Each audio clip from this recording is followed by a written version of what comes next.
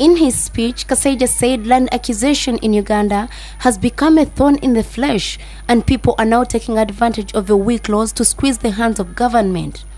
He expressed worry that government might be spending more money in compensating people affected during the construction of roads than that spent in the actual road construction works.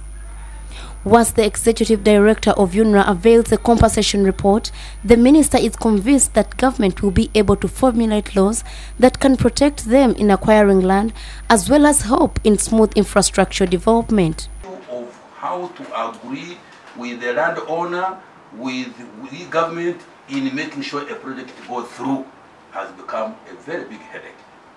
That's why you are hearing the Minister of Lands saying, that's because she was advised by cabinet, that I think the right way to do is that if we disagree, if the, if the landowner disagrees with the valuation of government, rather than stopping the, the contract and saying now stop, I, I don't know whether you know you can tell us how much money extra we are going to pay on that road of the express uh, express and highway by two things that late. There are people who claim graves that they were they, they, they were the owners of the graves and therefore the road could not go through those graves until they had been given money to move the graves and whatnot. Eventually we discovered actually they were not the owners of the graves. The loan agreement signed today will go towards supporting the Busega Mpigi Express Highway, specifically targeting improving transport services in central Uganda.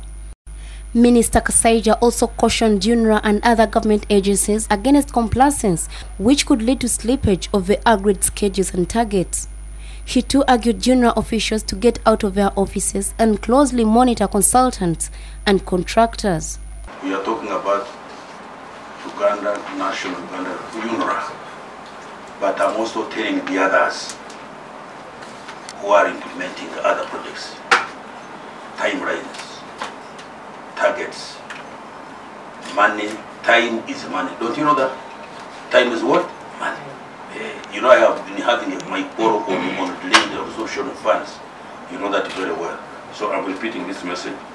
Gabriel Negatu, the Director Regional Department East Africa at the African Development Bank, observed that this road project is of great benefit, citing the improved economic and social welfare of persons in the zone of influence of the road corridor. We are not simply building road from point A to point B, but we are seeking to change lives in this road corridor. Within this corridor, the purpose is not just to put uh, bricks and stones, but to change lives, to transform people's lives. And I've just listed the various uh, activities that are envisioned within this project. The total project cost is estimated at 690 billion shillings, of which the African Development Bank will cover 542 billion shillings of the total cost, with the Ugandan government set to cover 148 billion shillings. Construction works are to kick off early January next year and will last five years. Government will pay back this loan through the funds incurred from the road toll, since this road is to be paid for by the users.